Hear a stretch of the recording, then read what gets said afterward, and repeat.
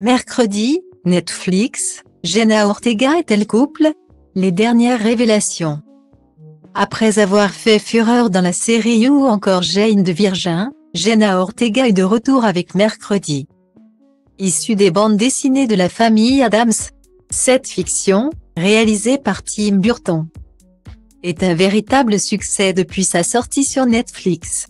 Il faut dire que le scénario n'y est pas pour rien et le casting non plus. Catherine Zepta-Jones y incarne le rôle de Morticia Adams, la mère de famille. Luis Guzman, lui, incarne le personnage de Gomé Adams. On y retrouve également un Tédoan, qui interprète Tilly. Ce dernier n'est autre qu'un ami très proche de Mercredi, qui deviendra ensuite son amant.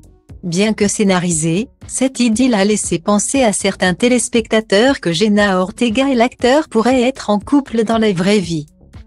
Pourtant, ce n'est pas le cas puisqu'un Tédouan est marié au producteur fiel des Jouettes, dont il partage régulièrement les photos sur Instagram. Mais une question se pose alors, avec qui Jenna Ortega est-elle en couple?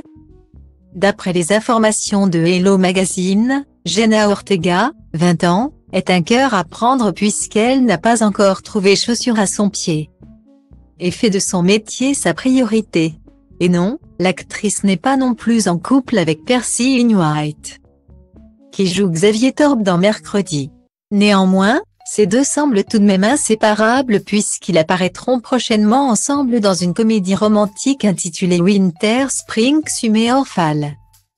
D'après les informations de Hit, les acteurs y incarneront le rôle deux adolescents que tout oppose.